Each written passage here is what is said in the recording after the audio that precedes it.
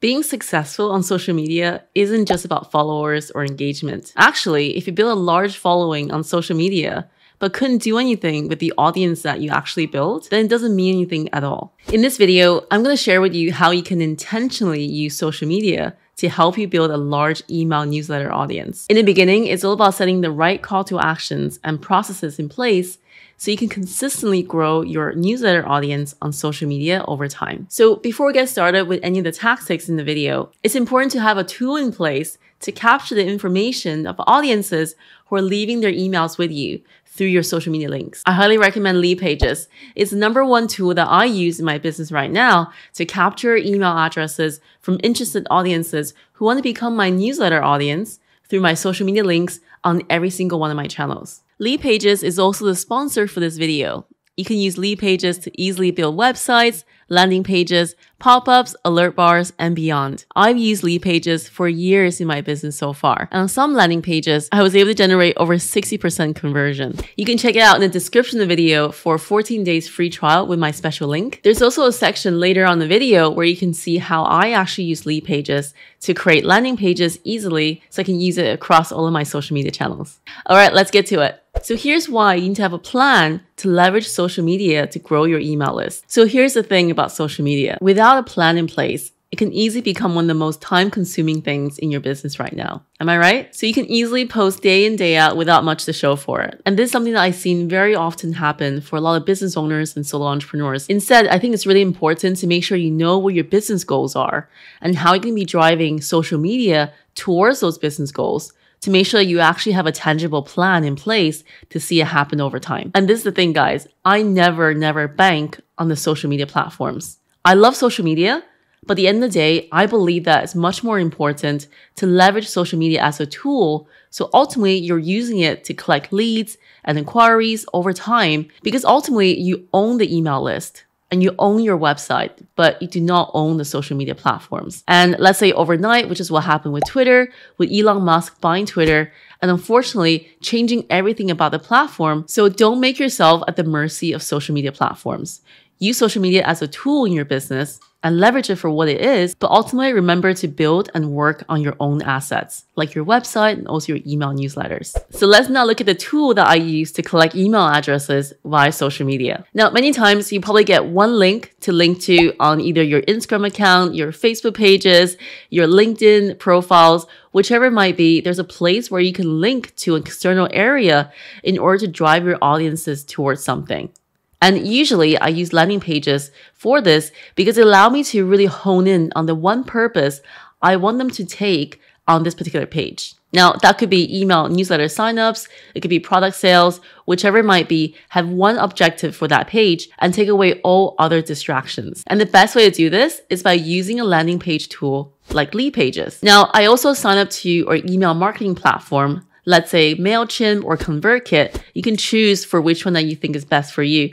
There's also another one called Flodesk that's been getting some really great reviews. And you can easily link them up within Leadpages to help them speak to each other. There are tons of beautiful templates in Leadpages that are conversion driven, so you can choose them and quickly change a few things and then put them live in a few minutes. You can see all these in the description of my video. So I'm currently in the landing page template section of the Leadpages website.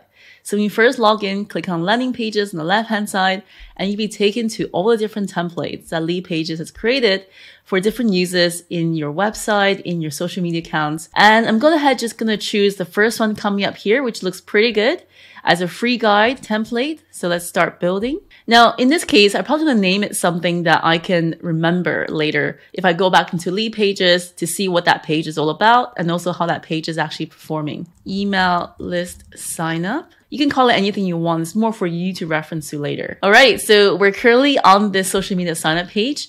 As you can see, it's very simple. It fulfills a lot of the different things that I talked about in my how to create an effective landing page with Leadpages video. If you look on my channel, you can see that one as well, where essentially there's no navigation on this page, which means that when people are coming to your page for the very first time, they won't get distracted. And essentially there's one call to action on this page, and that is get the guide. And whatever that might be that you're offering in exchange for email addresses from your potential visitors. Now, let's assume that right now this page is for someone in the wellness business and you can actually go ahead, easily change the logo here. So edit image and click on the icon there, upload the image. And then from there on, you can then go ahead and make that into your new logo. Now, once you've done that, down here, you can either change that to a free guide or a free audio guide, a free download, or whatever you want to call it. You can change it to that as well. They pretty much have done the layout for you in Leadpages. That's what I love about it is that everything is done by optimizing it to the best conversion possible for those who are coming to your landing page for the very first time. And in this case, via social media. And you can actually even see how it will look later on a mobile device because I talk about this a lot in all of my social media workshops in person or online is that you want to make sure everything that you're directing individuals from, from your social media account is actually mobile optimized. And essentially the title here is how to build a wellness brand on social media. I think we'll leave that as it is, but to show you how easy to edit it, you could always just add more more words uh, and online, let's say, for example. And you can just change the text as you want to be, to be whatever your call to action is for this specific email opt-in. And the left-hand side, you can easily change the fonts. You can change the size of the fonts, the line spacing, if you want to make it wider, if you want to make it slightly less, more dense together, that's absolutely fine. Whatever you think looks best for you. I'm going to move it back to the four that it was on before and any break margin. So let's say if a wide break margin, then that's a break margin at the bottom there. Or if I move it back to just one, essentially have a very tight margin around the text. And you can make it italic, you can make it bold. Um, in this case, already it's actually bold. And you can even try things like shuffling headlines, which is really cool. So they'll change things like harnessing the power of social media and online platforms to create a thriving wellness brand. And you press that again, unleashing the potential digital platforms to build a successful wellness empire. And I want to show you guys one more feature on the design and layout is that you can actually edit the styles of different type of headlines that you want to have on your pages. So it makes everything very consistent across your landing pages. You can edit the styles here by choosing the global font styles. So for headlines, for headline one, what do you want to look like? For headline two, is anything particular you want to change up about it? So this way, when you click on the different styles, you can easily change the layout very quickly. And you can also now change the copy underneath your title as well, which is what's enticing your audience to sign up. So in this case, the landing page has a very effective layout for what we need as a conversion on social media opt-in. So for example, we have essentially just a very one central area and you have a very clear headline, which tells you exactly what you're offering to your audiences. And also three bullet points where you can sell the benefits of actually getting this free download or free guide. And lastly, a very clear call to action button. And in my opinion, which I mentioned in my previous videos on how to build effective landing pages, having one button instead of having the actual cells of what you need to fill out initially on that first glance is actually better as a conversion base versus having the email sign up boxes all laid out for you with the name and also email addresses straight away. Because psychologically, humans are more likely to click on a button than having to type out additional information. So it just makes it really frictionless for them to take that next step. And once they click the button, then you can edit the pop-up that comes up, which is basically where should we send your free guide? Now, you can either have just an email sign up box here, or you can also have, let's say, email and also potentially another field, let's say first name. That's absolutely up to you. If you want to add that additional field, basically you click on the email box and you click on the field section where you can actually add a field. So in this case, it would be first name and done. And I probably you just move this up above email to make it a bit more easier. And also that's the usual flow of someone types in their email opt-ins. So they do their first name first and the email after that. But if you don't want that, you want to make it even easier for individuals, then you can also obviously take it out as well. And the other thing I want to mention here is that you want to be very clear on what the next step is. So in this case, I recommend if you send the individuals to a thank you page after they sign up to an email opt-in on this particular page. So, so there's a few reasons for this. One is that it allows you to track how many individuals actually opted in from this email sign up page eventually when you're running ads. And when you run ads on social media, when you do have this set, set up properly, then you can actually see how many individuals ended up landing on the thank you page after coming through the ad to your email opt-in. So I'll explain all this in a more detailed video on the social media advertising one, but I want to just mention that this is a really good step to have on any landing pages that you currently create. And secondly, is that again, it allows the individual to understand that they have now successfully opted in and that something's coming to their inbox. So the thank you page, I usually say something like, Thank you so much for signing up. That freebie is on the way to your inbox right now. If not, please also check your spam folder just in case you missed it. So again, another way to really build that relationship to let your audience know that they can trust you and that your freebie is on the way to them. So once you have that URL created, you can then just go to external URL here as an option and put that URL into the box and go ahead and save and close. Now, one thing I want to mention here is that when someone clicks on this button, send me the guide, and they submitted their email addresses, make sure you're actually sending them the guide or the freebie that you promised in the first place. And in this case, there are a few options to do this. So the first way is that you can do an integration to your existing email marketing software. So let me show that how it works. Let's say here add an integration and you can say, let's say Laurie's ConvertKit account and the social media planner list that I created just for those who wanted my social media planners on my website. And now that's selected. Now there's two options. The individual can either receive the email from your ConvertKit account or they can receive it directly from Leadpages.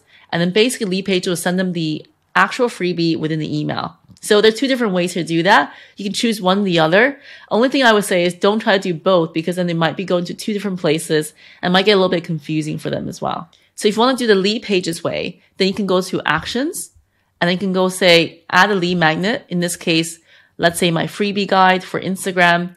And then once you actually saved everything, when they actually do opt in on this page, Leadpages will actually send them an email attaching the freebie that they can download straight away. Great. So now that's all done. Essentially, the next thing to do is just go down to here where you can change, let's say, the details about your company, any kind of privacy policy or cookie policy on your website. And also feel free to edit anything else you want to have underneath here. And last but not least, that's it. Just go ahead and publish.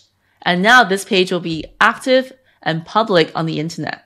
So you can either take this link here or you can make it into a much more smaller link by using bit.ly so bit.ly to make it even a shorter link for yourself. You can share it everywhere on your social media profiles. Was that easy? Now, if you want to find out more about how to create an effective landing page that actually converts, check out the other video on my channel where you can learn all about that. So here are five ways that you can grow your email list over time with social media. Number one, a call to action. Make sure to include a clear call to action on your social media profiles that in exchange for irresistible offer for your audience, you can exchange for their email addresses so you can send them an email newsletter over time by keeping them now within your email ecosystem. Now, I still think emails is the ultimate last frontier because it's the one place where we still check regularly, but also is the one thing that we still find very private in the sense that we don't share our emails with everyone. And for your audiences to give you their email addresses as a permission to email them on a regular basis, I think that means a lot. It's really a huge upgrade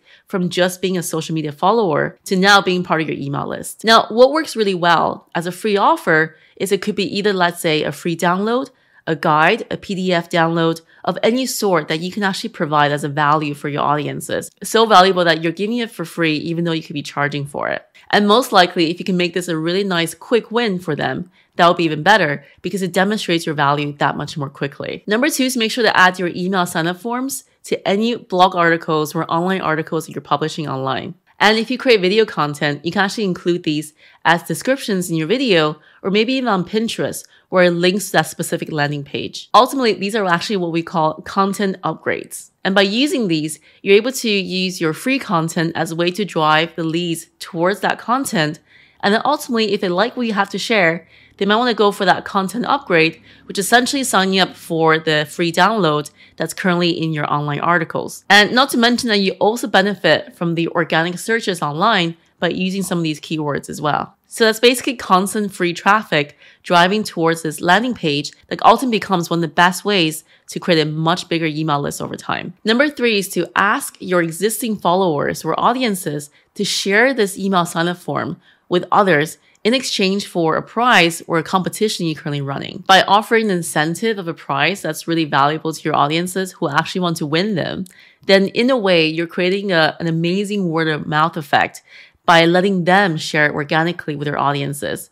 And you're earning this trust with your audience over time by allowing them to also become the advocates in your business as well. Number four is to hold educational webinars in your industry for your audiences by sharing these on social media. Because they have to actually share their email addresses with you in exchange for getting access to the webinar, but also be included for future webinars like these. A really easy way to come up with ideas is to think about 12 topics if you're doing them on a regular monthly basis of different topics that your audiences might be interested in as a webinar. And then share these across all your social media accounts to let your audience know that you're actually running them and then driving them towards signing up for these webinars. Number five is that you can use Facebook ads to really add fuel to your email list growth over time. Once you have been testing some free content that you're sharing as potential in exchange for email addresses across your other social media channels, if one piece of content did really well, then you can use this as a way to run ads to them using Facebook ads. And sometimes by running these as Facebook ads, you can achieve costs as little as 80 cents per lead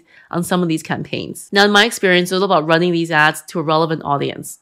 If you can test these over time with different audiences and see what resonates the best, you can actually really achieve a very low cost per lead, which eventually can grow your email list very quickly. So I hope that you found this video helpful in showing you how you can use social media to grow your email list very quickly over time by leveraging these five different strategies, but also using an amazing tool like Leadpages to help you actually create landing pages that converts. So thanks to our sponsor Leadpages for sponsoring this video. You can also grab your 14 days free trial in the link below in my description. So I'm curious, are you going to be using landing pages going forward to start growing your email list on social media? If you like the video, make sure to give it a thumbs up and share with a friend.